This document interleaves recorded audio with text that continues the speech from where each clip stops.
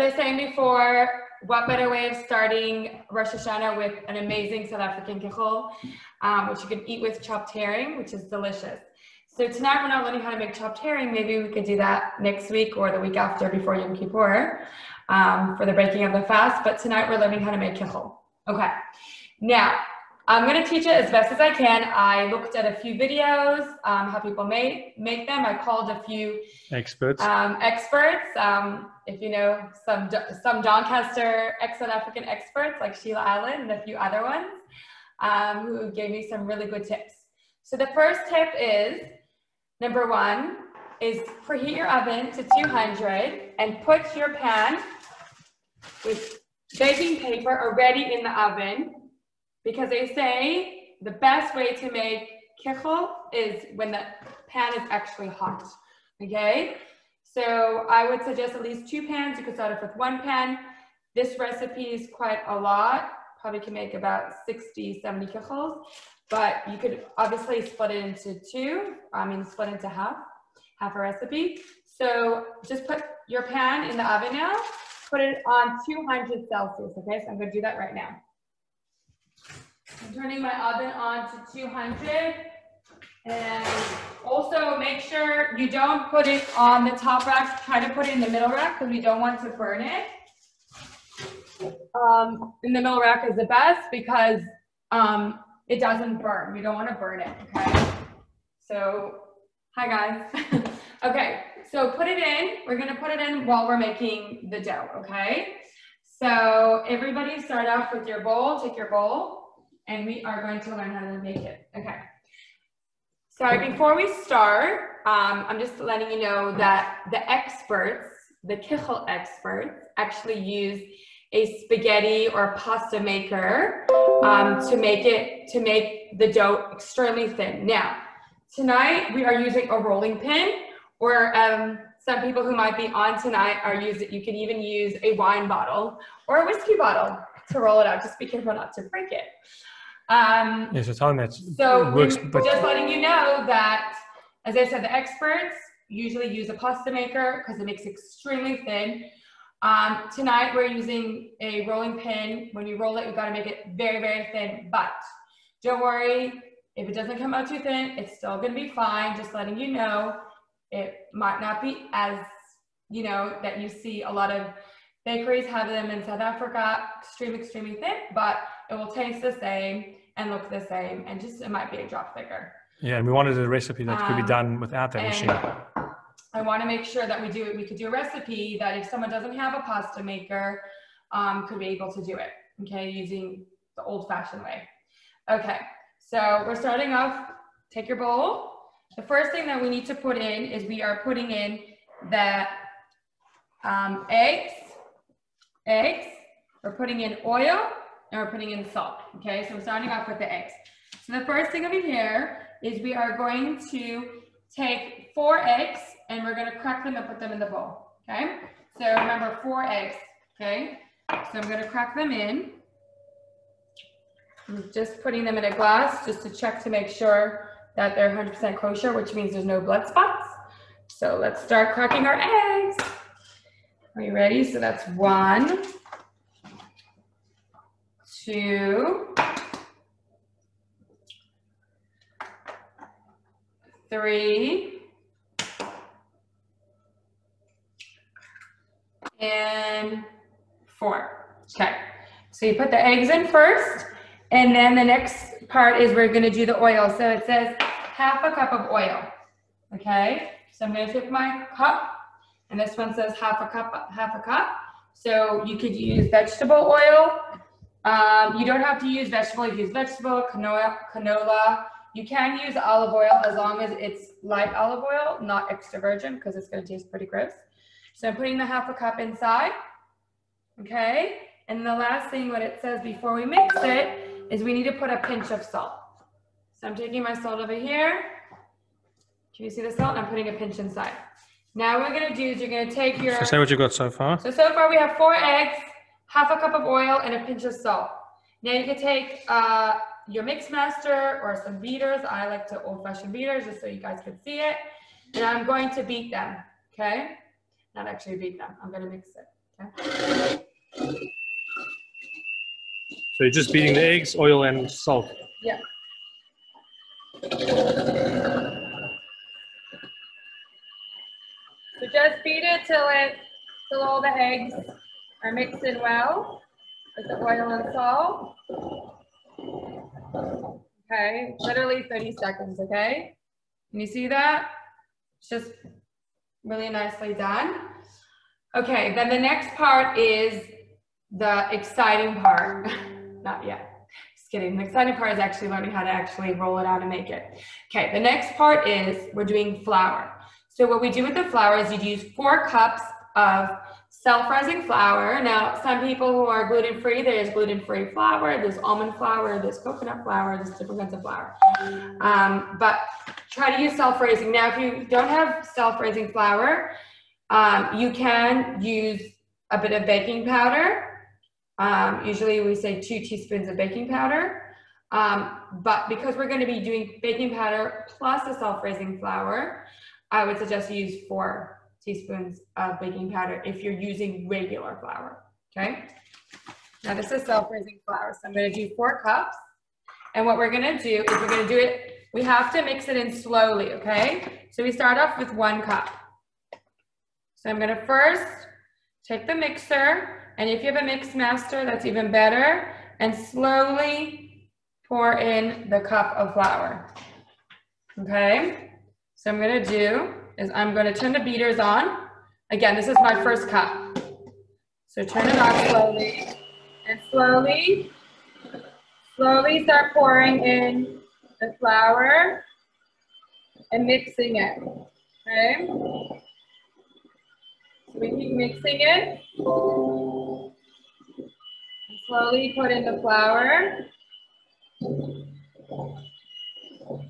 Because what's going to happen, it's going to become very, very thick and become a dough. It's going to turn into a really nice dough. but we got to do it slowly, okay? So that's my first cup of flour. Now it looks almost like, like a cookie, almost like a, like a custard, okay?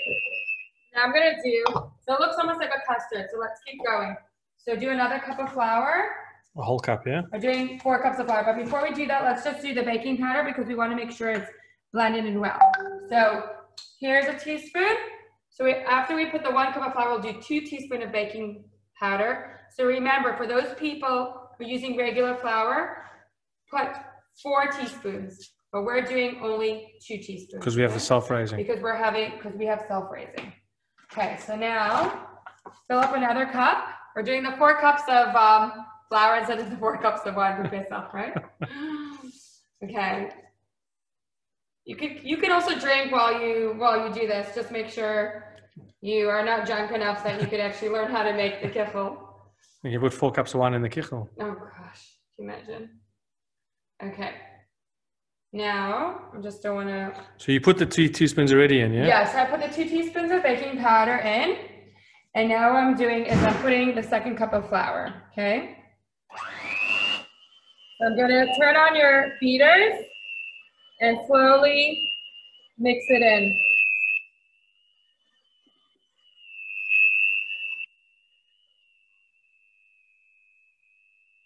Okay, so that's my second cup. Now you can see it's starting to become almost like cookie dough, but obviously we need to. It's not too thick. It's thick, but it's not thick enough for Yeah. us. Okay, you can see straggling a bit, but it's still good. Make it a little bit faster so that the dough can come up. Okay.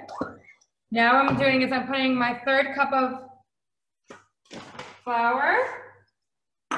Okay. Oops. There we go. Okay. My third cup of flour. I'm gonna mix it. It's a bit harder to mix, but we'll get there.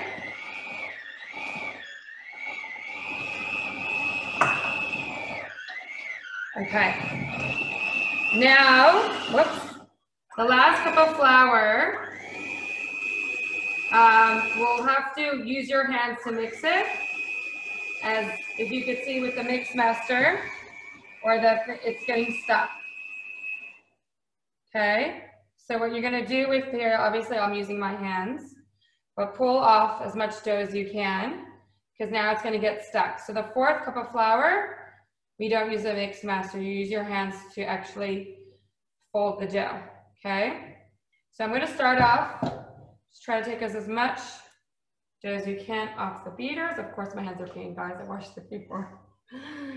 Okay, it doesn't matter, you're not eating it anyways. okay, so I'm going to take, I'm gonna take actually a half a cup and I'm gonna do half a cup first, mix it in the other half a cup because even though it says four cups, sometimes it's a little bit too much flour. So I'd rather start off with half a cup and then slowly see, gradually see if we need more, okay? So I'm taking my half a cup of flour. Isn't hot? It is half a cup. Oh. This is half a cup, guys. Okay. And I'm gonna put it on the top, and I'm gonna use my actual hands and mix it.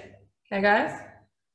Because I think this actually might be enough, which actually, it's a good, yeah. We don't need four, we need three and a half, I think so.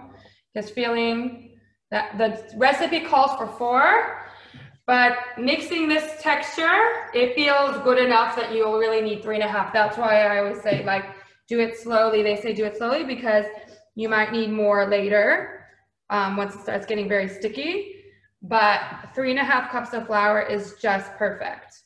I think it's a very good, it feels really nice, and I think it's just perfect that you only need three and a half cups, okay guys? So, once you, okay, so what I'm gonna do is I'm gonna take it out of my bowl, okay? And I'm going to mix it on, I'm going to put it on the table. Okay. And I'm going to punch it down, sort of like what you're doing with challah, sort of kneading it. So I'm going to knead the dough to make sure that it's mixed enough. So that way we are going to split the dough into six different um, balls of dough, okay? So I'm keep punching it down punching, punching. Okay, so it has a nice consistency like challah dough, but obviously it's not challah dough. It's our amazing kichel dough. Okay, so it's good exercise. Keep punching it down. Once you feel it's a nice solid piece of dough, then we're gonna split it into six different pieces, okay? Okay, I'm gonna just show you how it should look. So you see the consistency. Did a bit of practicing, guys. a few days in a row trying to make sure that it's perfect. Okay. Now I'm gonna just show you. Can you see? This is how it needs to look. Yeah, it's the camera, yeah. Oh, sorry. Okay. Can you see that? It's a great consistency. Okay. Now, once you've got your dough to look similar to this, we're going to piece it in, we're gonna split it into three different pieces, okay? So just take it and make them into one, two, sort of like what we do with challah. You know how you make, um, for braids, you make six braids or three braids. So we're gonna make them into, it doesn't have to be exactly perfect. It could just be, you know, just because we're going to roll it out, okay? So we got one, two, three, four, five, six. Okay. So what I'm to do is I'm to take, take the biggest piece. Can you see? Okay. So what I would like you to do is now we're, we're going to do, are you ready? is just take a little bit of flour in a cup, okay? So just have some flour ready just because we're gonna roll it out and it might get very, very sticky, okay? So just put a little bit of flour in a cup just in case you need a little bit of flour so it's not as sticky, okay? That's why there's extra flour, four cups. Now, in your half a cup, put sugar in because this is where we get the sugar, okay? So we're don't we're using regular sugar, which is called granulated sugar, or as they say in Australia, normal sugar. Show the packet, the front. Oh, here, just a plain white sugar. It's not caster sugar, powdered sugar, just regular normal sugar, okay? So I'm gonna put it into my half a cup, okay? Because it says half a cup of sugar, but even though it says half a cup, you're gonna need more than half a cup because the way it works, if you know kichel, there's sugar inside, on the top, and on the bottom. Okay, so you want it to sort of replica the regular kichel that you normally get in South Africa. Okay, so make sure you have a surface to roll. We're gonna be working a bit hard today. and the other thing you're also gonna need is make sure you have a fork and a knife because a fork, what, is a, what you use a fork is to make the edges of the kichel, and the knife is just to cut it. Now, some people cut kichel in rectangles, some people cut them in squares, and some people do triangles. Everyone has their different ways of doing it. Tonight, I'm going to do squares, okay? So that's what I'm doing, but you could do, make whichever shape you like to make, okay? Okay, so the first thing we're gonna do is we're taking our piece and we're gonna roll it as thin as possible. Yeah, it's gonna be hard because when it's thin, sometimes it's hard to actually put on the sheet, but we're gonna try to make it as thin as possible. Now, where does it- If you have the if you have the pasta thing, then what? If you have the pasta thing, then you put it through the pasta maker and it does, it already does its job. It's completely thinned out. So you already have, it's already, you already have the shape. You just need to cut them into squares or triangles. And then um, once you, sorry, for those people on the pasta maker, once you have them like the whole long pasta thing, you put, the sugar is gonna come on. So I'll just show you in a minute, okay? Use your pasta maker. We're gonna start rolling and then we'll tell you what to do with the sugar. Okay, so start rolling, okay? Are you showing how I'm rolling it? I sorry. Sorry, just making sure our cameraman is ready. Okay, thank you. So we're gonna roll it a bit. Okay, now I rolled it a little bit to show them how I rolled it. Okay, Do it again. I'm, I rolled it out a little bit. So those people have a pasta maker, this is what you also need to know. Once it's rolled out very thin, you take a bit of sugar, okay, sprinkle it on top, okay. sprinkle it on top. Now, this is the trick. You got to roll the dough with the sugar, okay? So look at that. It's gonna, when you roll it with the sugar, it helps it thin it out. Okay, so you can see I'm rolling it. And for those people who said they have a pasta maker, you just put a whole bunch of sugar on also on your dough. You see that? Heaps of sugar on, because it also helps. What thickness would you use with a pasta machine? Ah, that's a good question. I would make it as thin as possible. Whatever your thinnest of pasta is, that's what I would do. Okay, so whoever's using a pasta maker, make it as thin as possible. That's the trick is to make it extremely thin. I don't know if I've, um, of mine's gonna be extremely thin because I'm not an expert, but I know I've made it a few times and it tastes really good. That's the main thing for me. Tastes good. And it does taste like kichel. Um, it just might be a little bit thick, but um, you could just try as much possible to make it as thin as possible. Now, again, the trick is hard. when you have the sugar, put a bit more sugar on. It helps. It helps the rolling to be easier to roll. Okay. So I don't want to break it either. Okay. So if you could see, we're trying to make it as thin as possible. Without breaking it. without breaking it exactly because remember it's on the the table so it could get stuck to the table too. So that's what we have to also just make sure. Okay.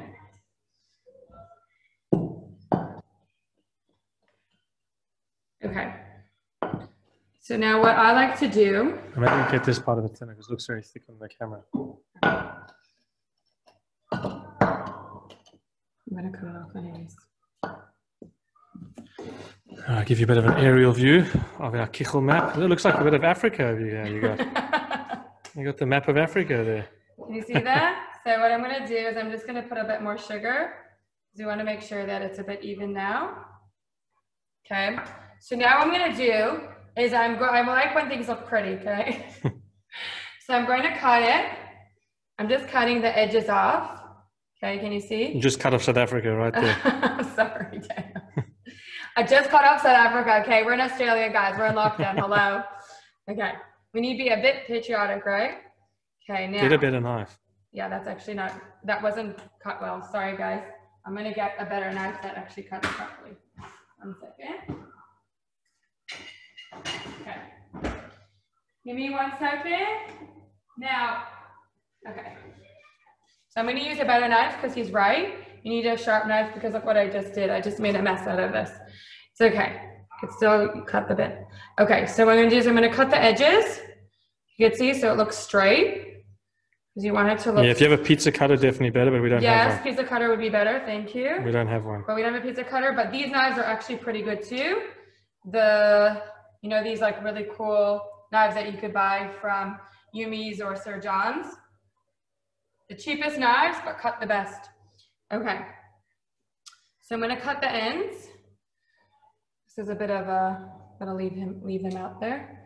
Leave them out of there. Okay. So I'm cutting the ends, the edges off. Okay, then what we're gonna do is I'm gonna make squares. Okay, well, it's more, it's a bit like squares or triangles. It Could also be another thing. Whatever shape you want, really. Okay, as I said before, some people make it with triangles, some people do squares, some people do rectangles. Okay, but I just want to show you. Can you use a cookie cutter, people asking? Yeah, you can use a cookie cutter. Okay, see, this is quite thin, but it's probably not thin enough. It probably needs to be a little bit thinner, but it's okay. Don't worry about that. Okay, I'm just gonna show you the idea. Now what you do is you take a fork. Can you see what I'm doing? Can you show them? Do you see how when you see in the kichel, they usually do in the, they take a fork and they press it on the edges so that it sort of has, can I see it? You can see a little bit. It's not. It's hot. It doesn't come out exactly in the camera. But it's still good. Okay, so use a fork and press the edges. Okay. I'm gonna see if I could try. Can you see? Let's see if I could get it better. We're sort of pressing the edges down. Okay. And now what we're gonna do is you're gonna take your, you're gonna keep going. Okay. I'm gonna just take the tray out of the oven so you can see how it looks on the tray. Okay. Give me one second. You understand? Yeah. So I'm gonna do is I'm taking the tray out of the oven and then we're gonna put it nicely on the tray so you can see how you need to put it in the, in the oven, okay? Give me a second. Here's my bread cup. hot. Okay, so I'm gonna do is I'm putting my tray down over here. Extremely hot, wait, move your phone. Okay, it's really hot, but this is what I'm gonna do. I'm gonna take, okay, so you could put like, it doesn't grow much. Hold on, I'm gonna put it straight. I can see. There we go. Okay, so I'm gonna put them on, and I'll probably put about, could put about 10. Okay, so keep going. Using the fork doing the edges. Okay. Obviously, it's very delicate. And you could go thin if you wanted to. Um, yeah, for those people, it's probably even better to go thinner because I would go even half the amount, but I really don't want to break it. Okay, because that's definitely not something I want to do.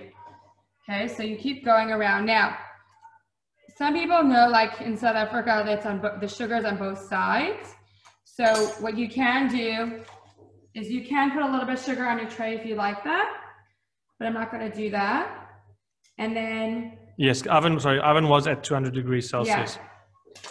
Okay, so I'm going to keep going. And then what I do at the end, after I do all the sides and put it all in, I sprinkle more sugar on top. And the reason why is because the more sugar, the sweeter it is, the better it is. Rosh Hashanah, guys. This year, we need a lot of sugar. Okay. especially with this COVID situation. No, no dieting now. We all need to eat. The only thing we can legally do, guys, is eat. Okay. So I got one, two, three, four, five. So as I said, suggested, um, I would put about 10, 10 of them in my tray. So you can see what I'm doing. I'm keep going. And then for those people who are ready, ready to put it in, you're supposed to bake it between six to eight minutes. And why six to eight minutes? Because obviously every oven's different. So in six minutes, you check on it. So it's supposed to look a bit like a light brown look. Um, obviously, I'm sure for those people who saw the photo before, supposed to have like a nice light brown look. And then you leave it out of the oven to cool for five to 10 minutes before actually eating it. Okay, so obviously you can see they're not exactly even, but it's okay. Um, I just want to show you, I'm to do, I'm gonna make it 10 so you actually could see how it's going to look for those people who are still working on their kichel. Here's another one. And we'll put in two more. I'm to just make it a little bit more rectangle. Okay. So remember, again, you, you do all the sides with the fork.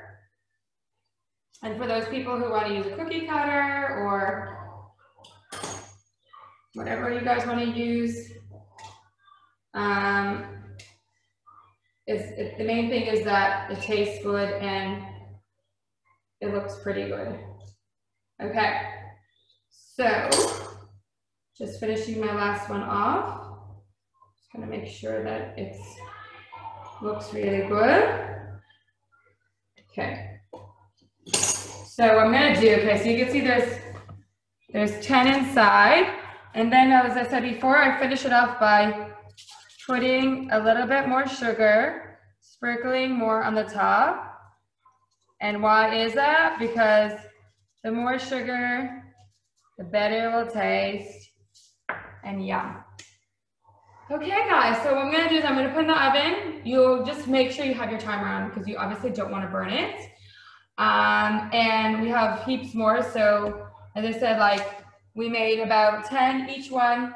Each dough should make about, let's say about 15. So yeah, yeah so I think we, as I said before, we can make what, 90 about? Yeah. Something like that because we have about six. So yeah, so. And what are the nice things to put in it? Kichel and herring. Okay, so for those people, for the traditional way, so some people ask, what can you use? Now, if you're American, we use peanut butter and jelly. Woohoo! But we're not. But this is not an American dish. Okay, so. So what, before you hold me, before you, someone asked, you leave it out for ten minutes before you eat, but you can. Um, oh, okay. So you can. I'm saying if you want to eat it right away. Okay? But you can definitely put it in the fridge. But you could. You, I wouldn't put it in the fridge. I would actually put it in a container and I would get a container that you could actually a plastic tub a plastic tub because that way it stays fresh because you want it to stay fresh. It could stay fresh for a few days. Okay, so definitely do it like a day or two before Rosh Hashanah. Put it in a nice closed container and seal it so that way it's fresh. Now someone's asking why only ten per tray? Do they expand so much? Um, so why ten? Why not more? Yeah, why can't you put more on there? Um, because they do expand a little bit, but um, I just like to, you could, if you want, you could put 15, 20, whatever you want, but I just think that, um, yeah, it doesn't expand so much, guys, but I do like the idea of not having them like too close together. Too close together. That's just my thing, but you could do what you want. You could try whichever way you want to do it. Um, and I was saying before, if you're Australian, you could have Vegemite and margarine, but the traditional way. Guys, the traditional way is having it with chopped herring. Now there's chopped herring, there's Danish herring, there's schmaltz herring. Oh, I even had some with peanut butter than I love it with peanut butter. What I said. I said that's the American way. So you're you be, he became Americanized, and I became South African, huh? Yeah. I love. And tell everyone about tomorrow night. Paramedics, um, Nat Wise is going to be amazing. Okay, so tomorrow night, eight o'clock. Eight o'clock. There's par- There's a paramedic who is what's the name? Her name is Natalie Her Wise. Name is Natalie Wise. She was on the TV Channel Nine TV show. She was on a Channel Nine TV show and paramedics. And on par- with called paramedics. Yeah. Oh, sorry, it's called paramedics. um, and should be really, really interesting. And for those people who not really interested in listening to that, I have another cooking Uh, demo. No? yeah. Okay. Um, anyway, so. So one somebody's asking why do you have to heat the tray? Okay, so what I said before, it's, it's out now. It really should have gone straight in. So I'm actually going to put it straight in the oven, or else there's no point. But the reason why you heat the tray, I'm putting it in the oven. I'm just gonna say- Hold on, it's it. It's it in the oven. Okay, in the oven. There it goes. Okay. So, um, okay, so some, so I got some tips from some South Africans. They say to heat the tray because it, when it's still hot, um, it just crisps really fast and it just hardens really nicely on the bottom.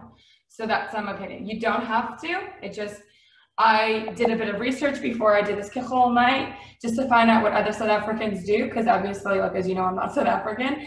I've lived in South Africa.